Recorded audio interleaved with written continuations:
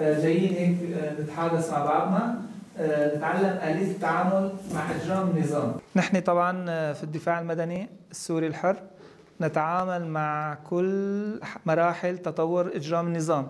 في المرحلة الأخيرة النظام بدأ بالاستعانة بقوى شر أشد فتكا منه مثل الروس أو الإيرانيين.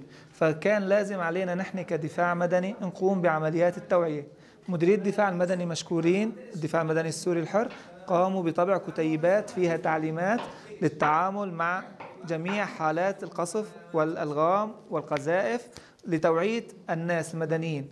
نحن كفرق آه، دفاع مدني بتكليف من الإدارة توجهنا إلى المدارس إلى المساجد إلى الأحياء الشعبية إلى جميع إلى كل أماكن تجمعات المدنيين لإجراء هذه التوعية.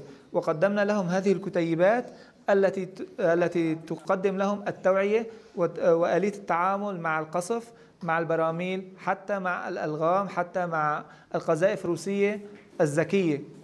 نحن نشكر الدفاع المدني لأنه علمنا شغلات كثيرة ما كنا متعلمينها. مثلا إذا أجت طيران ننزل على الطابق التحتاني أو إذا غازات كيماوية نطلع على الطابق العلوي أو نتجه عكس الريح.